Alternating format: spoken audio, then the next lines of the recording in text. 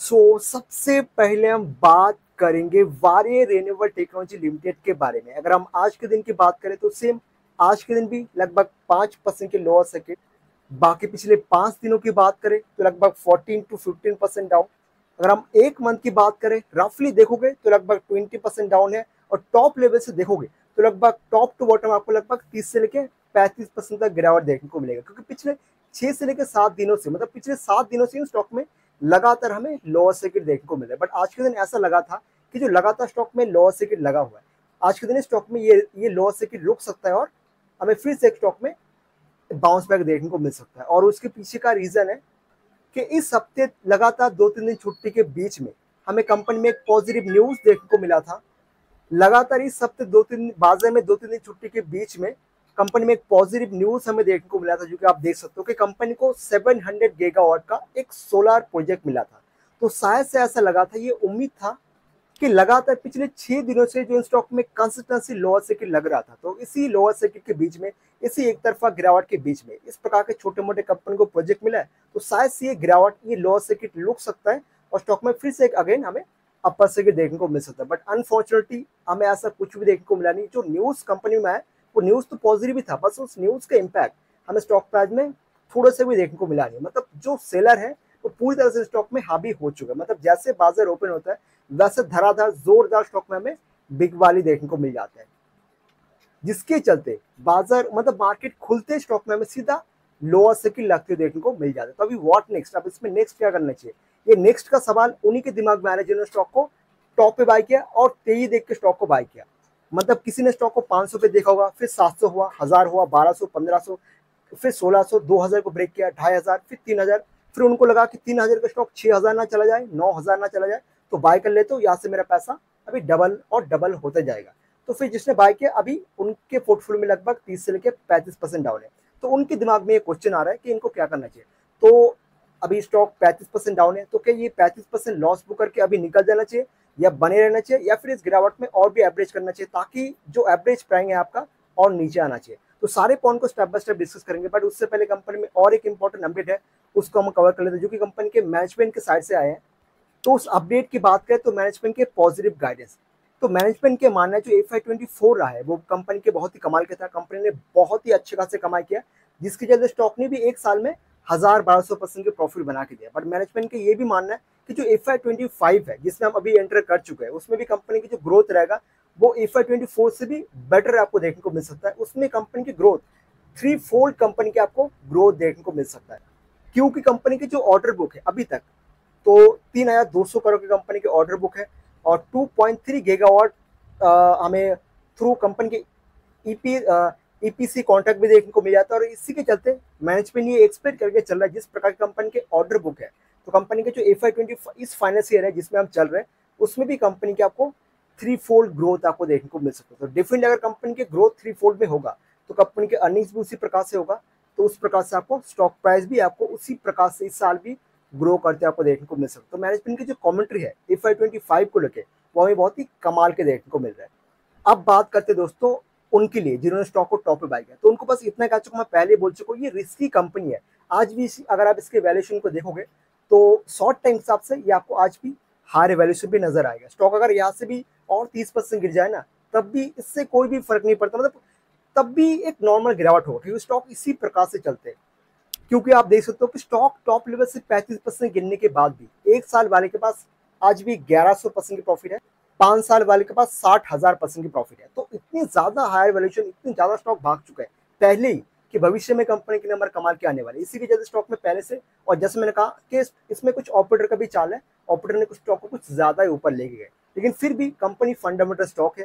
Company के business बहुत ही कमाल किया और इसी के चलते आपने देखा 1999 से कंपनी के बिज़नेस चल रहे हैं। लेकिन कंपनी एक्चुअल में जो कमाना शुरू किया, वो 2022 से। क्यों? क्योंकि इनके सेक्टर को बूस्ट मिला है 2022 से। इनको बिज़नेस मिलना शुरू हुआ 2022 से। 2022 23 24 तीन साल में कंपनी की ग्रोथ तीन साल पहले कंपनी के एक साल की इनकम सिर्फ़ तेरह करोड़ थे और तीन, चार साल बाद कंपनी की इनकम नौ सौ करोड़ के आसपास। सेम प्रॉफिट भी, देख सकते हो कि कितने कमा की ग्रोथ देखा। और इसी के चलते, जो स्टॉक पाँच साल से चल ही नहीं रहा था, वो दो साल में इतने रॉकेट कैसा बन गया? तो सेम रीजन है कि कंपनी को बिज़नेस इतना मिल गया सेक्टर को बूस्ट इतना मिल गया, इतने ऑर्डर कंपनी को मिल गया तो इनकम ग्रो हुआ प्रॉफिट ग्रो हुआ अर्निंग्स ग्रो हुआ तो स्टॉक प्राइस भी सूट अप हो गया। तो अगर आपने जल्दबाजी में बाय किया होगा। हायर वैल्यूएशन वाले स्टॉक ज़रूर है रिस्क स्टॉक ज़रूर है बट खराब बिल्कुल भी नहीं। अगर आप होल्ड करोगे तो ये तीन हज़ार तो ये तीन हज़ार क्या? ये फिर से तीन हज़ार का आपको छह हज़ार और छह का बारह हज़ार भी लॉन्ग टाइम में होते हुए आपको देखने को मिलेगा। तो अच्छी कंपनी ज़रूर बने रहो। हाँ मतलब लॉस में निकलने वाली कंपनी तो बिल्कुल भी नहीं है। किसी के पास है नहीं, कोई जाना चाहता है। तो ये, अगर आपको ये कंपनी अच्छी लगती है, इस बिज़नेस के ऊपर ट्रस्ट है कि फ्यूचर में जिस प्रकार का सरकार सरकार का टारगेट है कि 2030 तक 50 परसेंट इलेक्ट्रिसिटी हम नॉन फॉसिल यूज़ से जनरेट करेंगे, जिसके चलते इस रेन्यूएबल एनर्जी से जुड़ा जो भी कंपनी उनको और भी ऑर्डर मिलने वाले सरकार के साइड से भी और प्राइवेट कंपनी के साइड से भी। तो आप इसके बारे में ज़रूर कंसिडर कर सकते हो। और तब चाहो तो पैंतीस परसेंट डिस्काउंट में, छोटी सी, क्योंकि ये छोटी कंपनी है रिस्की कंपनी है, क्योंकि गिनने के लिए और भी गिर सकता है। तो चाहो तो छोटा सा एक स्टॉल में से आप अपना इन्वेस्टमेंट के जर्नी स्टॉक में शुरुआत करके चल सकते हो।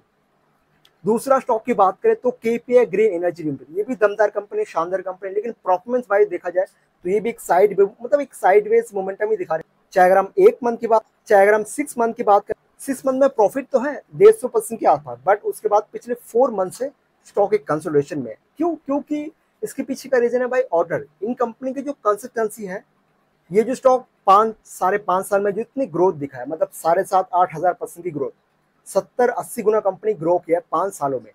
इसके पीछे का रीजन है कि कंसिस्टेंसी कंपनी को ऑर्डर मिलते गया और आपको याद होगा, मैं तीन मंथ पहले से एक पॉइंट बोलता आ रहा हूँ कि भाई कोई जा रहे हो कीपीए ग्रीन में, अच्छी बात है, लेकिन नोट करने वाली चीज़ कि ये कंपनी इतनी इसलिए भागते हैं क्योंकि कंसिस्टेंसी कंपनी को ऑर्डर मिलते जाते हैं और मिलते जाते हैं। जब कंपनी को एक, दो मंथ अगर ऑर्डर ना मिले तो स्टॉक एक साइड बेस मोमेंटम में जाएगा, यहाँ तक कि स्टॉक अच्छे खासे गिरते हुए भी देखने को मिल सकता है। तो क्या स्टॉक अभी गिरेगा? तो अभी इस हफ़्ते तो बिल्कुल भी नहीं गिरेगा। क्यों? क्योंकि स्टॉक इसलिए साइड बेस मोमेंटम में बीस, इक्कीस, बाईस दिन से कंपनी को एक भी छोटे मोटे भी प्रोजेक्ट मिला नहीं। इससे पहले कैसा था कि हर हफ़्ते, हर सात दिन में कंपनी को दो तीन छोटे बड़े प्रोजेक्ट मिलता था और स्टॉक में अपर सेकेंड अगेन प्रोजेक्ट मिला, अगर अगेन अपर सेकेंड बट अभी तक 21 दिन से कंपनी को कुछ प्रोजेक्ट मिला नहीं। तब भी स्टॉक गिरा नहीं। क्यों? क्योंकि दोस्तों, इस हफ़्ते, दो दिन बाद, आज 21 तारीख है, तेईस मई को कंपनी के एक बहुत ही इंपॉर्टेंट डेट रहेगा मीटिंग रहेगा, जो जिसमें कंपनी कंसिडर करेंगे स्प्लिट तो उसके लिए भी बहुत सारे लोग अपना पोजीशन बना के रखते हैं कि स्प्लिट अगर मार्केट के हिसाब से दिया, मान लो एक के बदले पाँच दिया, एक के बदले दस दिया तो बाइंग आएगा स्टॉक भागेगा। अगर मान लो एक के बदले दो देता है तो स्टॉक में अच्छे खासे गिरावट भी हो सकता है और इसी की जगह स्टॉक एक साइड बेस मोमेंटम में हाँ। आप ऐसा बोल सकते हो कि ट्वेंटी थर्ड में, जो कि दो दिन बाद थर्सडे के दिन, उसके बाद जो स्प्लिट का अनाउंसमेंट होगा, उसके बाद स्टॉक में एक आपको बड़े हलचले भी देखने को मिल सकता है either upper side either down side भी हो सकता है। तो इसीलिए किसी को जाना है तो अभी रुक जाओ ट्वेंटी थर्ड में, यानी कि थर्सडे को पहले स्पीड का अनाउंसमेंट सुन लो, उसके बाद स्टॉक की मोमेंटम को देख लो, उसके बाद अगर आपको लगता है कि जाना चाहिए, तब आप चाहो इसके बारे में कंसिडर कर सकते और बाकी जैसे मैंने कहा कि ये भी कंपनी पॉपुलर क्यों है? न्यू कंपनी है 2008 में कंपनी की शुरुआत हुआ लिस्टेड तो पाँच साल हुआ बट कंपनी के बिज़नेस की शुरुआत 2008 में हुआ। बट इंपॉर्टेंट चीज़ है कि solar and wind solar power project में कंपनी काम करते हैं खास करके आईपीपी और सीपीपी में। और इसके इससे रिलेटेड कंपनी को कितने सारे ऑर्डर मिला और सिर्फ़ इतना ही नहीं जो सरकार का टारगेट है उस टारगेट को अचीव करने के लिए ये कंपनी को और भी अच्छे खासे आपको बड़े बड़े प्रोजेक्ट लॉन्ग टाइम में मिलते हुए देखने को मिल सकते अगर आपको इन सारे चीज़ों के ऊपर ट्रस्ट है आपको लगता है ये कंपनी ग्रो करेगा सोलर इंडस्ट्री इसमें कंपनी को और भी ढेरों सारे प्रोजेक्ट मिलेगा तो कोई ज़रूरी नहीं दोस्तों कि पाँच साल में कंपनी अस्सी गुना ग्रो किया बाईस के स्टॉक अभी दो हज़ार पे है तो आगे ग्रो नहीं कर पाएगा। डेफिनेटली ग्रो करेगा ऊपर से इतने भागने के बाद भी अभी सिर्फ़ दस ग्यारह हज़ार करोड़ के मार्केट कैप है। एक लाख भी जाने वाला है फ्यूचर में, दो लाख करोड़ का भी फ्यूचर में लॉन्ग इसके मार्केट कैप मतलब इतनी बड़ी कंपनी बन सकती है, इतना पोटेंशियल इसके अंदर है। तो अगर आपको ऐसा लगता है तो बिंदास बने अगर आपको ऐसा नहीं लगता है तो आप चाहो तो इग्नोर भी कर सकते हो। अगर आपके पास है, अगर आप लंबी अवधि में बने रहोगे तो लंबी अवधि में ये कंपनी डेफिनेटली बहुत अच्छा खासा परफॉर्मेंस इस सेक्टर में दे सकता है। अगला स्टॉक की बात करें तो एथोस लिमिटेड ये भी एक दमदार कंपनी है, लेकिन उसके हिसाब से देखा जाए तो ये भी दो तीन दिन से एक खराब परफॉर्मेंस दे रहे हैं। आज के दिन की बात करें तो पाँच, साढ़े पाँच परसेंट डाउन पाँच दिन में सात परसेंट एक मंथ की बात करें तो आप देख सकते हो कि बॉटम लेवल से एक बाइंग आया था। क्यों? क्योंकि कंपनी के नंबर के बाद। और मैंने कहा था कि नंबर मुझे अच्छे बिल्कुल भी नहीं लगे। देखो मार्केट में कुछ भी हो जाए, आपका खुद का ओपिनियन सबसे मेन चीज़ है।